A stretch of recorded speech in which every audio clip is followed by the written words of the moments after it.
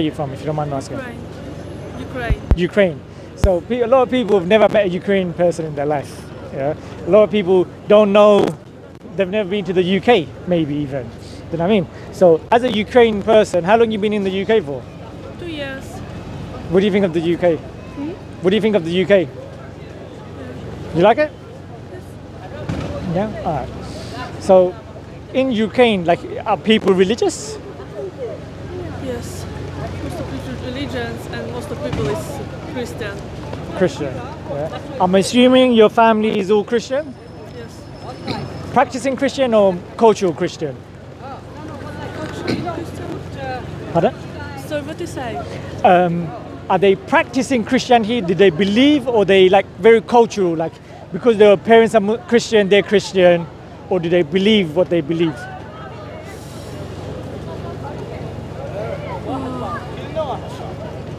Like your parents, did they go to the church a lot? No. Okay. Did they read the Bible a lot? No. Okay. Because the thing is, I've got family from Croatia, yeah, and they're very, they're very passionate about their belief, yeah, and they'll say we're Christian. When you go to the house, you see a cross, like you know, on the mountain, not a mountain, the hill, the top of the hill, you've got a church, and it's very beautiful because you've got the church looking over the entire village, yeah every time they go to a new house, they'll get the house blessed by a priest. Yeah? But then when you ask them questions, they don't read the Bible.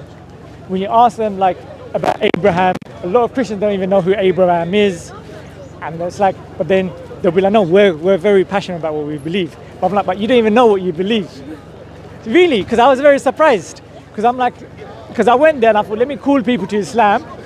But they're like, no, I'm confident in what I believe. I believe passionately. And I go, tell me what you believe. And they fail to tell me what they believe.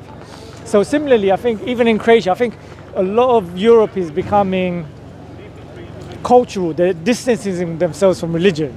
How do you feel about that? Agree, disagree? Yeah. Um, I would like to give you a free translation of the Quran. Give me what? The Muslim Biblica, Muslim um, Quran, the religious scripture. I don't need it because I my English is so bad I, I can't read it. So And unfortunately, I don't even have a Croatian, um, Ukrainian um, Quran. Do you, can I just very quickly tell you the basics of Islam? no, I need to go. Do you need to go? Yeah. Yeah, no, I can tell, I can tell. No problem. Thank you so much. I really appreciate your time, madam. You take care of yourself. Thank you. Alhamdulillah, I spoke to a Ukrainian lady.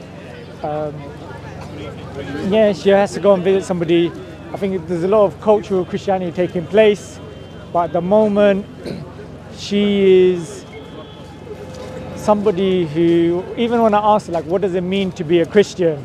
Like, she was very, she got stuck on the Christian. When I asked her, um, is Jesus Christ God or sent by God? Again, she got stuck on the question. And I think we need to, as Muslims and non Muslims, Muslims and Christians, we need to be confident in our faith, and especially Muslims who are watching this. Like, how can we? We need to think about how can we portray the message. What do we know about Islam, and study the Deen, connect with the Quran.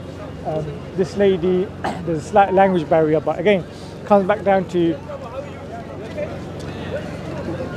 challenging what the society is telling us. Because at the moment, we're living in a society where it's just telling us, look, you live once, uh, YOLO, just go with the flow.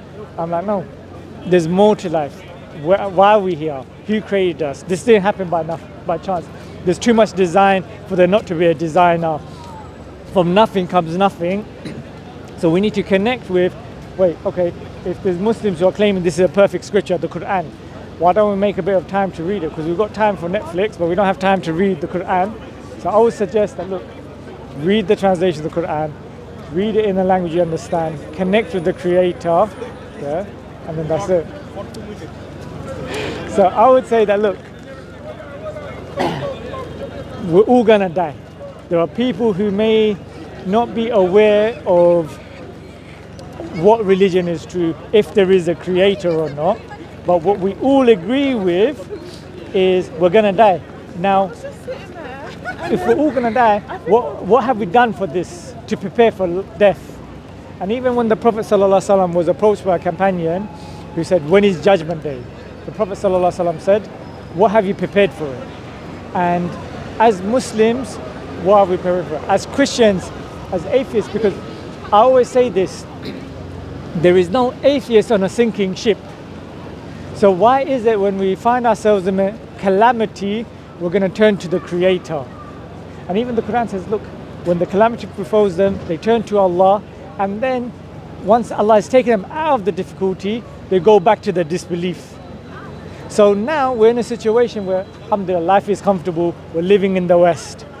She probably came from uh, a war torn country. We have people in Syria, in Palestine, in Gaza who've got bombs dropping on them, who are left without food, who've had water switched off. Yet you see videos coming out from there where they're connecting with Allah. So may Allah bless them and grant them hidayat. And I pray that I pray that Allah grants her hidayat, grants Islam. Yeah.